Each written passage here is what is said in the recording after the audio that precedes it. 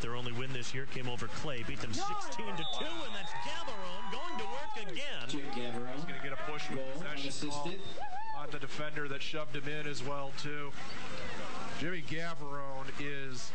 You say sometimes in hockey you talk about guys who can stick handle in a phone booth, and Gavarone can crit about cradle in a phone booth here as well as he moved around a couple defenders, took the shot. They'll wave off the penalty well. But boy, that is that's an impressive body of work right there by Gavarone.